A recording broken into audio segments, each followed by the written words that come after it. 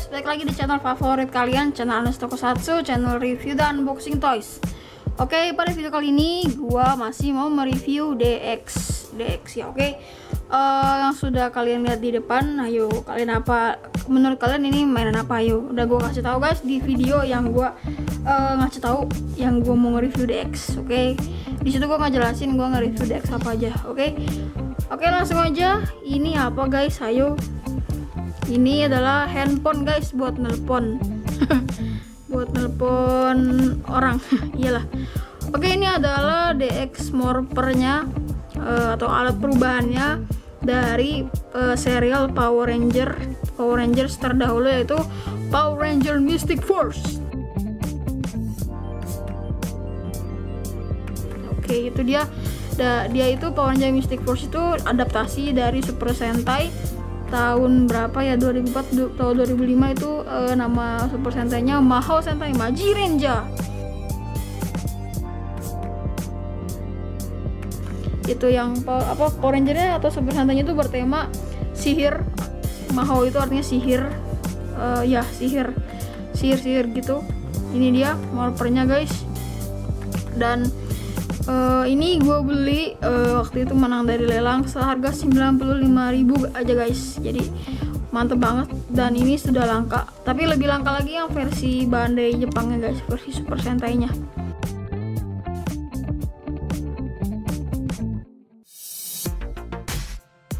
oke. Okay.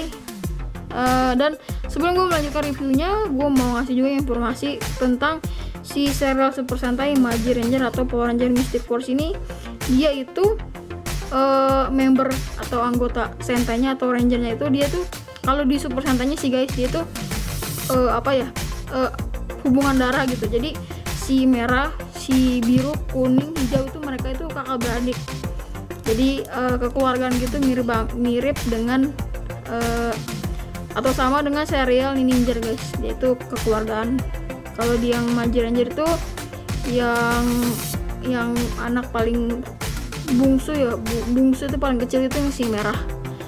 Oke okay, dan kalau di Power Ranger gue nggak tahu tapi dulu Power Ranger Mystic Force nya pernah tayang di TV Indonesia di Indosiar kalau nggak salah dan gue uh, seneng banget kalau ada film Power Ranger di TV ya guys. Kalau sekarang itu udah jarang banget guys. Kasihan jadi anak-anak zaman kurang apa ya kurang dikasih tontonan yang uh, seusia mereka oke? Okay?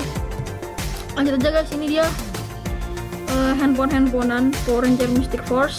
Ini ada lambangnya. M itu sebenarnya kalau di sentainya Maji ya.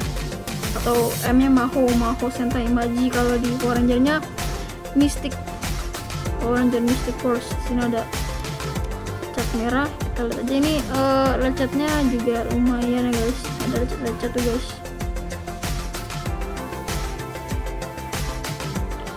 Oke, dan lagi lihat belakangnya guys, ada cetakan Bandai 2005 made in China dan di sini ada obengnya gede banget.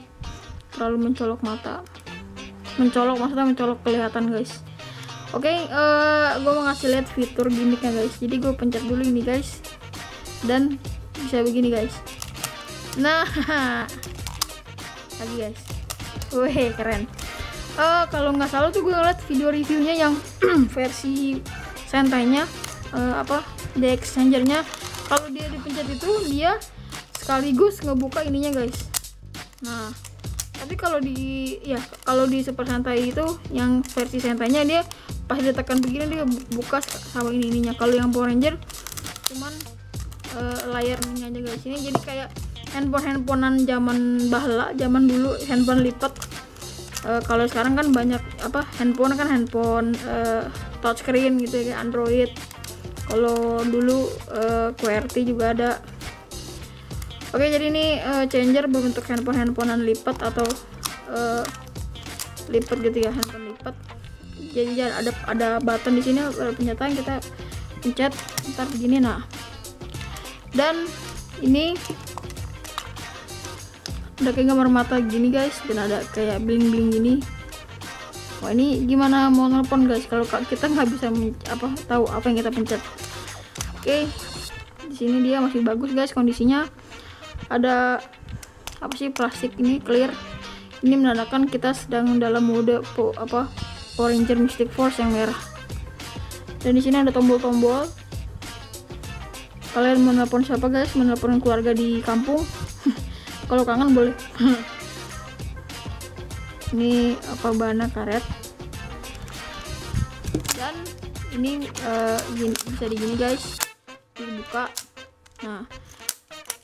Nah ini nanti buat lampu LED nya guys kayaknya guys. Kayaknya kalau nggak salah. Dan uh, menurut gue ini handphone handphone lipat ini uh, sama atau mirip banget dengan tongkat sihir guys. Jadi emang uh, pas ya dengan temanya sihir-sihir gitu. Atau mirip dengan tongkat sihir Harry Potter waduh. Tapi ini bisa tongkat sihir bisa bisa nelpon guys. Kita lipat seperti ini buka. Oke tanpa berapa lama langsung aja gue mau masukin baterainya guys.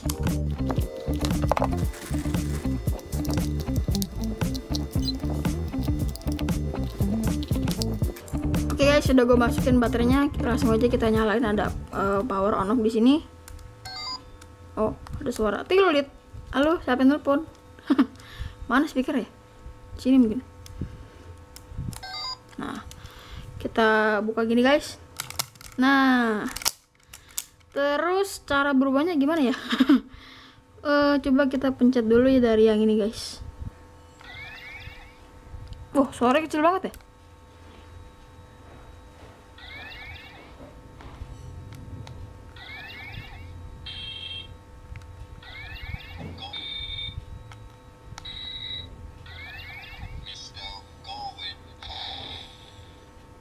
Dia ngomong apa tuh? Mr. Gowin. Nggak jelas.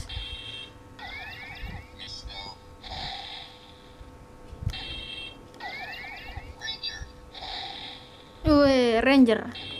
Telepon Power Ranger, guys.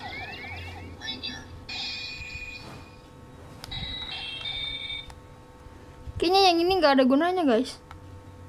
Atau rusak.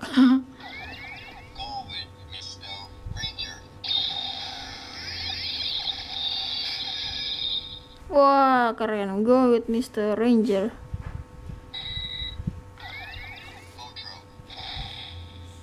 Oh, jadi deh elek uh, lampunya cuma ada di sini, guys. Yang di sini nggak ada, guys. Kita lanjut lagi ke nomor 5, guys. Wah, ada suara burung.